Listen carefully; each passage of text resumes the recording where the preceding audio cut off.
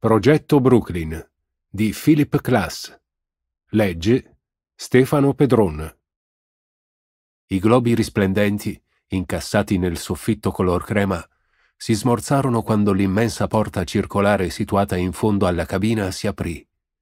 Ripresero il loro bianco vivido splendore quando l'uomo paffuto che indossava un severo camiciotto nero chiuse di nuovo la porta dietro di sé facendo scattare la serratura. Dodici giornalisti d'entrambi i sessi esalarono fragorosamente il respiro quando l'uomo si avviò verso il davanti della cabina e voltò la schiena allo schermo traslucido che ne occupava tutta la parte anteriore.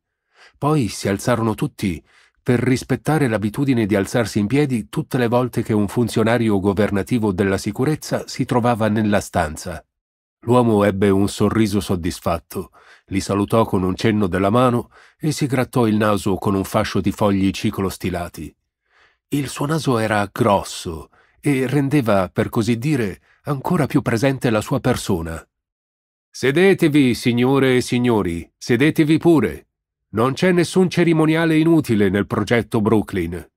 Io sono la vostra guida, si potrebbe dire, per l'intera durata di questo esperimento facente funzione di segretario del primo assistente del direttore per le relazioni con la stampa. Il mio nome non ha importanza. Per favore, fate circolare questi tra voi. Ciascuno dei presenti prese uno dei fogli ciclostilati e passò gli altri ai compagni. Mettendosi comodi sui loro sedili metallici a forma di mezzo bidone delle immondizie, si agitarono alquanto. Il loro anfitrione sbirciò attraverso il massiccio schermo poi alzò lo sguardo all'orologio sulla parete che aveva una sola lancetta la quale girava lentamente. Batté quindi con giovialità la mano sul giubbotto nero laddove gli stava stretto sulla pancia. Al lavoro, dunque. Fra qualche istante avrà inizio la prima escursione in grande stile dell'uomo attraverso il tempo. Non da parte di esseri umani in carne e ossa, ma grazie a un congegno di registrazione e fotografia che ci fornirà dati di una ricchezza incalcolabile sul passato. Con questo esperimento, il progetto Brooklyn giustifica 10 miliardi e più di dollari e 8 anni di progressi scientifici. Dimostra la sua validità non soltanto di nuovo metodo di indagine, ma altresì come arma che renderà il nostro glorioso paese ancora più sicuro un'arma che i nostri nemici possono, con piena giustificazione, temere. Lasciate che vi metta in guardia. Non cercate di prendere appunti neppure se siete riusciti a contrabbandare penne e matite nonostante i controlli della sicurezza. I vostri articoli dovranno essere scritti soltanto sulla base di ciò che la vostra memoria ricorderà. Siete tutti in possesso d'una copia del codice di sicurezza con gli ultimi aggiornamenti come pure d'un opuscolo che si riferisce in modo specifico ai regolamenti del progetto Brooklyn. I fogli che avete appena ricevuto vi forniranno una guida per i vostri articoli. Contengono anche suggerimenti su come svilupparli e dar loro colore. Al di là di questo, fin tanto che vi manterrete nell'ambito dei documenti citati, siete completamente liberi di scrivere i vostri pezzi nel vostro stile più autentico e originale. La stampa, signore e signori, deve restare inviolata, incontaminata da ogni controllo governativo. Adesso, qualche domanda? I dodici giornalisti fissarono il pavimento. Cinque di loro cominciarono a leggere il foglio. La carta frusciava rumorosamente. Come? Nessuna domanda? Deve esserci certo più interesse di quanto ne mostrate per un progetto che ha violato l'ultima possibile frontiera la quarta dimensione, il tempo. Su via adesso. Siete i rappresentanti ufficiali della curiosità dell'intera nazione. Dovete avere delle domande. Bradley, lei mi pare dubbioso. Cosa la tormenta? Le assicuro, Bradley, che non mordo. Scoppiarono tutti a ridere e si scambiarono cordiali sogghigni. Bradley si alzò a metà della sedia a tubo e indicò lo schermo. Perché deve essere così spesso? Non sono per niente interessato a scoprire come funziona il Kroner, ma tutto quello che possiamo vedere qui è l'immagine grigia e confusa di uomini che si trascinano dietro delle apparecchiature. E perché l'orologio ha una sola lancetta? Una buona domanda, dichiarò il facente funzione di segretario. Il suo grosso naso parve ardere. Una buonissima domanda. Per prima cosa, l'orologio ha una sola lancetta perché, dopo tutto, Bradley, questo è un esperimento col tempo. E la sicurezza pensa che l'ora stessa dell'esperimento possa, grazie a qualche sfortunata fuga di informazioni e correlazioni con l'estero. Per farla breve, è inutile esibire un indizio in più se è possibile farne a meno. È sufficiente sapere che quando la lancetta indicherà il punto rosso, l'esperimento avrà inizio. Lo schermo è traslucido e la scena offuscata per la stessa ragione. Mimetizzazione d'ogni particolare. Io sono autorizzato a informarvi che i particolari dell'apparecchiatura sono... Ehm, sì, troppo rivelatori. Qualche altra domanda? Culpepper. Culpepper della Consolidated, vero? Sì, signore, la Consolidated News Service.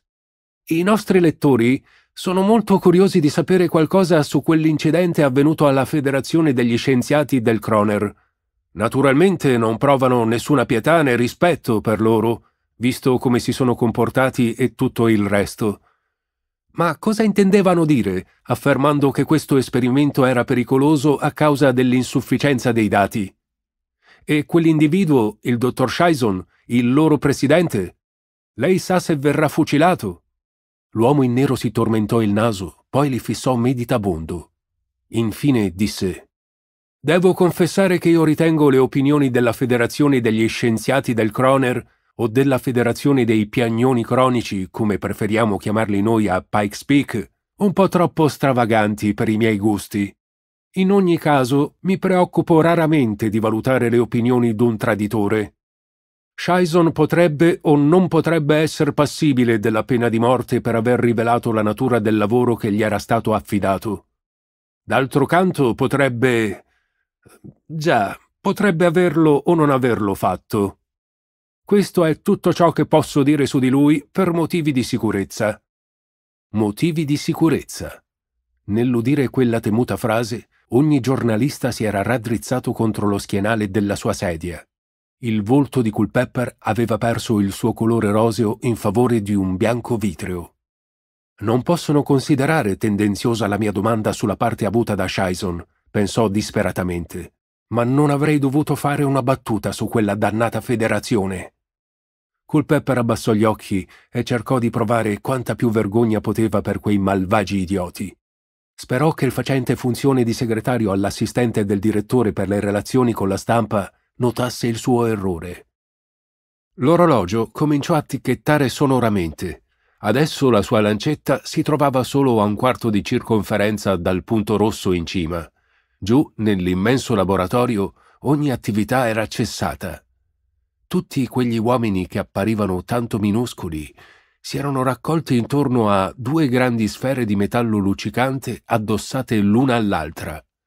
La maggior parte di loro teneva d'occhio quadranti e interruttori, alcuni, completato ormai il loro compito, chiacchieravano con le guardie della sicurezza dai camicioni neri che formavano un cerchio intorno a loro. Siamo quasi pronti ad iniziare l'operazione Periscopio. Operazione Periscopio, naturalmente, giacché in un certo senso stiamo per protendere un periscopio nel passato. Un periscopio che scatterà fotografie e registrerà avvenimenti di differenti periodi i quali vanno da 15.000 a 4 miliardi di anni fa. Pensavamo che, viste le varie circostanze critiche che hanno accompagnato questo esperimento, internazionali, scientifiche, un nome più adatto sarebbe stato Operazioni Incroci. Sfortunatamente quel nome sembra... Ehm, sì, svuotato. Tutti si sforzarono di mostrare una completa ignoranza della natura di quell'altro esperimento nei limiti concessi dagli anni trascorsi a fissare gli scaffali delle biblioteche chiusi a chiave. Non ha importanza. Ora vi riassumerò tutto ciò che concerne il funzionamento del Croner per quella parte che ha ottenuto il nulla osta della sicurezza del progetto Brooklyn. Sì, Bradley. Bradley si era nuovamente alzato a metà della sua sedia a tubo.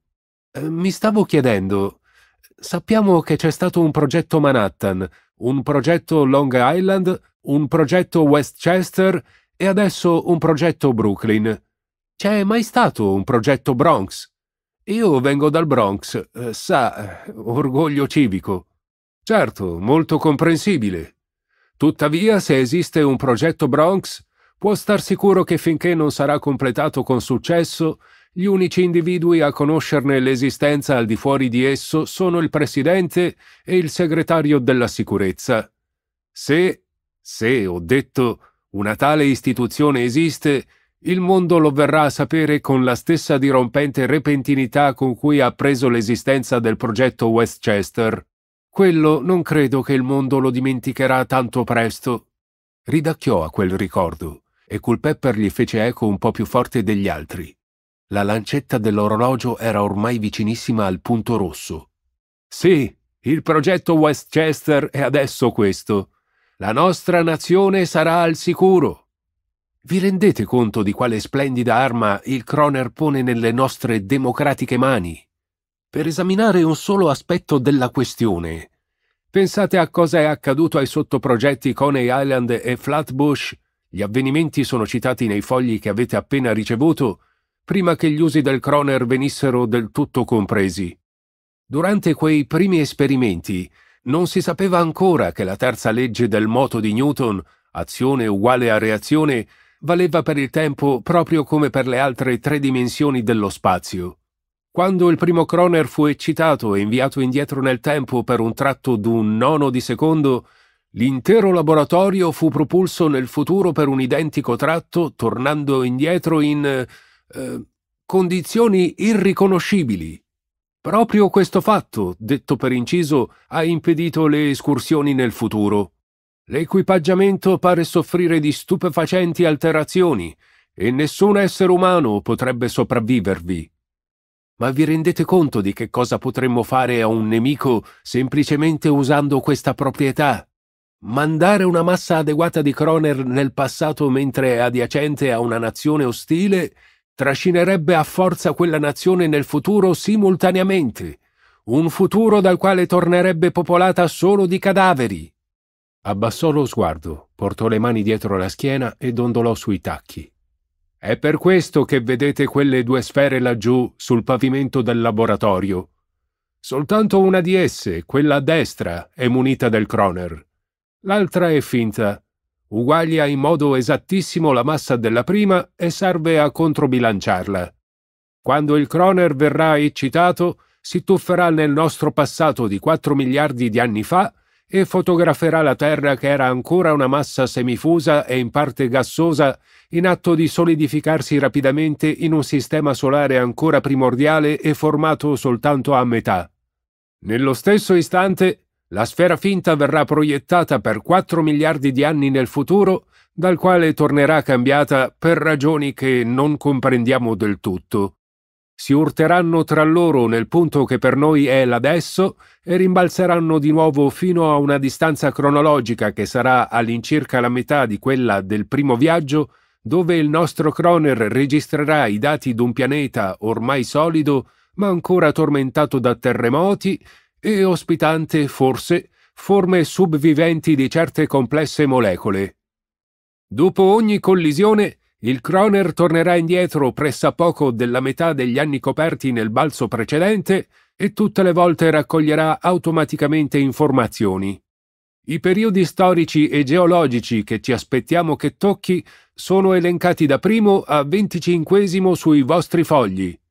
Saranno più di 25, naturalmente, prima che entrambe le sfere tornino in posizione di riposo, ma gli scienziati ritengono che tutti i periodi dopo il venticinquesimo saranno toccati per un periodo di tempo così breve da non poter produrre né fotografie né altre documentazioni. Ricordatevi che alla fine le sfere compiranno poco più di minime vibrazioni sul posto prima di tornare in completo riposo, cosicché, malgrado si tratti di rimbalzi di secoli su entrambi i lati del nostro presente, il fenomeno sarà quasi inavvertibile. Eh, vedo che c'è una domanda. La donna magra in abito grigio di tweet accanto a Culpepper si era alzata in piedi. Io. io so che è irrilevante, cominciò.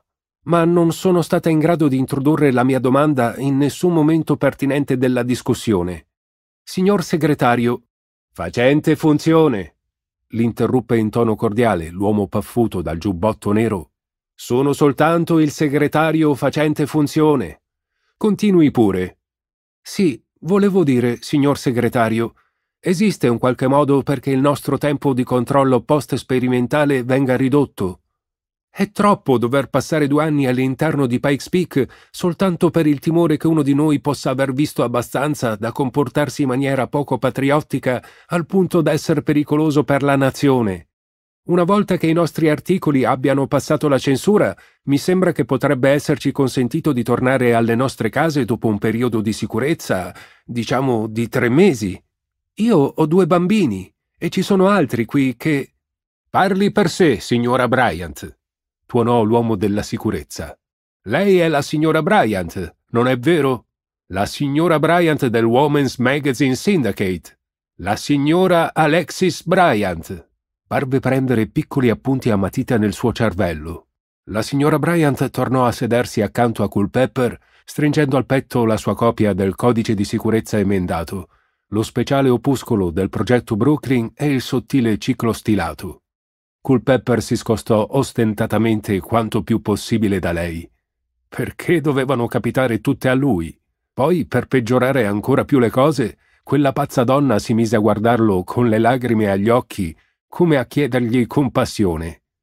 Culpepper guardò il lato opposto della cabina e incrociò le gambe. Dovete rimanere sotto la giurisdizione del progetto Brooklyn, perché è questo il solo modo col quale la sicurezza può essere certa che non ci saranno fughe di informazioni importanti prima che l'apparato abbia subito cambiamenti tali da risultare irriconoscibile rispetto a quello attuale. Lei non è stata obbligata a venire, signora Bryant, si è offerta volontaria. Tutti vi siete offerti volontari.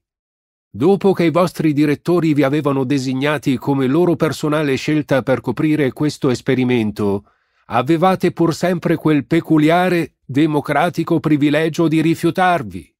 Nessuno di voi l'ha fatto. Avete riconosciuto che rifiutare questo insolito onore vi avrebbe rivelato incapaci di pensare in termini di sicurezza nazionale. In effetti avrebbe implicato una critica del codice di sicurezza stesso sulla base dei soliti due anni di controllo. E adesso questo, per qualcuno che fino ad ora era stato giudicato capace e fidato come lei, signora Bryant, saltar fuori così tardi con una richiesta del genere mi fa... La voce dell'uomo grassoccio si ridusse a un bisbiglio. Mi fa quasi dubitare dell'efficacia dei nostri sistemi di sicurezza per vagliare i candidati. Culpepper annuì energicamente, in un gesto di rabbiosa conferma rivolto alla signora Bryant, la quale si stava mordendo le labbra e cercava di mostrare un enorme interesse nelle attività che si stavano svolgendo là, nel laboratorio. La domanda era irrilevante, molto irrilevante. Ha occupato del tempo che intendevo dedicare a una discussione più dettagliata degli aspetti più popolari del Croner, dei suoi possibili usi nell'industria. Ma la signora Bryant deve avere i suoi piccoli sfoghi femminili, non fa nessuna differenza per la signora Bryant che la nostra nazione sia di giorno in giorno sempre più circondata da un'ostilità crescente e da pericoli sempre maggiori. Queste cose non hanno la minima importanza per la signora Bryant. Tutto quello che la preoccupa sono i due anni della sua vita ai quali il paese le chiede di rinunciare, così che il futuro dei suoi stessi figli sia più sicuro. Il facente funzione di segretario si lisciò il giubbotto nero e divenne più calmo. La tensione all'interno della cabina decrebbe. Adesso l'attivazione potrà avvenire in qualunque momento, perciò descriverò brevemente i periodi più interessanti che il Croner registrerà per noi e dai quali ci aspettiamo di ricevere i dati più utili. Il primo e il secondo, naturalmente, poiché sono i periodi durante i quali la Terra stava assumendo la sua forma attuale. Poi il terzo, il periodo precambriano del Proterozoico, un miliardo di anni fa. La prima era nella quale troviamo riconoscibili tracce di vita, per la maggior parte crostacei e alghe. Il sesto, 125 milioni nel passato, copre il Giurassico medio del Mesozoico. Questa escursione dentro la cosiddetta età dei rettili potrebbe fornirci fotografie dei dinosauri e risolvere l'antico enigma della loro colorazione, come pure le fotografie, se saremo fortunati, della prima comparsa dei mammiferi e degli uccelli. Infine, l'ottavo e il nono, l'Oligocene e il Miocene del periodo terziario, che sono contrassegnati dall'apparizione dei primi antenati dell'uomo. Sfortunatamente il Croner oscillerà avanti e indietro tanto rapidamente a quelle epoche che la possibilità d'una decente registrazione e che Joe Gong, la lancetta dell'orologio, toccò il punto rosso. Cinque dei tecnici là nel laboratorio fecero scattare degli interruttori e quasi prima che i giornalisti potessero sporgersi in avanti, le due sfere non erano più visibili attraverso il massiccio schermo di plastica. Al loro posto c'era il vuoto. Il Croner ha incominciato il suo viaggio verso i quattro miliardi di anni nel passato. Signore e signori, è un momento storico, intimamente, essenzialmente storico. Eh, non farà ritorno per un po'. Userò questo tempo per mettere in evidenza e svelare in ogni particolare gli errori della... Ah, della Federazione dei Piagnoni Cronici. Una risata nervosa si propagò fino al facente funzione di segretario all'assistente del direttore delle relazioni con la stampa. I dodici giornalisti si prepararono ad ascoltare il modo in cui quell'idea ridicola sarebbe stata fatta a brani. Come sapete, uno dei timori coltivati circa i viaggi nel passato era che gli atti all'apparenza più innocenti avrebbero causato cambiamenti catastrofici nel presente. È probabile che questa fantasticheria vi sia familiare nella sua forma più popolare. Se Hitler fosse stato ucciso nel 1930, non avrebbe costretto gli scienziati tedeschi e più tardi quelli dei paesi occupati ad emigrare. Perciò questa nostra nazione avrebbe potuto non avere la bomba atomica, così non ci sarebbe stata nessuna terza guerra mondiale e l'Australia emergerebbe ancora dalle acque del Pacifico. Il traditore Scheison e la sua illegale federazione hanno ampliato questa ipotesi fino a comprendervi atti assai meno rilevanti come, ad esempio, quello di spostare una singola molecola di idrogeno che nel nostro passato non era mai stata in realtà spostata. All'epoca del primo esperimento con il sottoprogetto Coney Island, quando il Croner fu mandato indietro nel passato per un nono di secondo, una dozzina di differenti laboratori hanno controllato per mezzo di una congerie d'ogni immaginabile tipo di congegni alla ricerca con accuratezza estrema di qualunque concepibile cambiamento ma non ce n'era stato alcuno. I funzionari del governo conclusero che il flusso del tempo è una cosa rigida. Passato, presente e futuro non possono venir in nessun modo alterati. Ma Scheison e la sua corte non erano soddisfatti. Essi. Primo, quattro miliardi di anni fa, il Croner galleggiò in una nuvoletta d'ossido di silicio sopra la terra ribollente e raccolse torpidamente i suoi dati con gli strumenti che funzionavano in maniera automatica. Il vapore che si era condensato su di esso ricadde in grandi gocce luccicanti. Insistevano a dire che non avremmo dovuto fare nessun ulteriore esperimento fino a quando non avessimo controllato di nuovo gli aspetti matematici del problema. Giunsero a dichiarare che era possibile che, se fossero avvenuti dei cambiamenti, noi non li avremmo notati che nessuno strumento immaginabile sarebbe stato in grado di individuarli. Dissero che avremmo accettato questi cambiamenti come cose esistenti da sempre. Bene, e tutto questo in un'epoca in cui il nostro paese e anche il loro, signori e signori della stampa, si trovava più che mai in un grande pericolo. Riuscite a... Le parole gli mancarono camminò su e giù per la cabina scuotendo la testa. Tutti i giornalisti sulla lunga panca di legno scossero la testa insieme a lui in segno di comprensione. Si udì un altro colpo di gong. Le due sfere opache comparvero per un breve istante, cozzarono l'una contro l'altra e rimbalzarono via in opposte direzioni cronologiche. Ecco! Il funzionario governativo agitò le braccia in direzione del pavimento trasparente del laboratorio sopra di loro. La prima oscillazione è stata completata. È cambiato qualcosa? Tutto non è forse come prima?